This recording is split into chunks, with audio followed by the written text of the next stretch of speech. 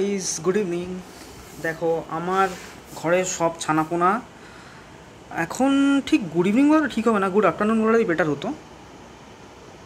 একটা বাজে প্রায়। তো হঠাৎ করে ওদের কি মনে হচ্ছে, আমার ঘরে একটু এসছে। ঠিক আছে, ঘরটাকে পুরো ঘেঁটে ছড়িয়ে উদ্ধার করে দিয়েছে। কি অবস্থা করেছে দেখো ঘরের। তার মধ্যে এদের সব মারামারি চলছে, খেলাধুলা চলছে, এই জন্য এই হচ্ছে লালু প্রসাদ। লালু প্রসাদকে তোমরা সকলেই চেনো। লালু প্রসাদ হচ্ছে সব থেকে শান্ত বিড়াল আমাদের। আমাদের বাড়ির সব থেকে শান্ত বিড়াল এটা লালু প্রসাদ ও কাউকে কিচ্ছু বলে না সব থেকে শান্ত এই যে জিনিসটা হচ্ছে, এইটা হচ্ছে সব থেকে শয়তান। এটা হচ্ছে, এটা ছোটো কালু ছিল, এখন বড় কালু হয়ে গেছে। এ হচ্ছে সব থেকে শয়তান। একে মারো, উল্টে আবার মারবে।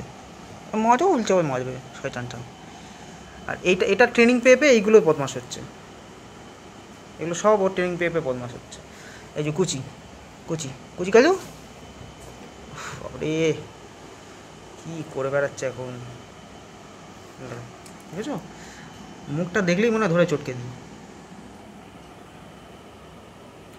ঠিক আছে, দেখতে থাকো, আর ভিডিওগুলো ভালো লাগলে অবশ্যই শেয়ার করো সাবস্ক্রাইব করো, এবং কমেন্ট করতে ভুলো না। আমি আরও ভিডিও বানাবো, তোমাদের তো অলরেডি আমি শর্টস ভিডিও বানাই, চেষ্টা করব আরও লং ভিডিও বানানোর। ঠিক আছে, চলো দেখতে থাকো।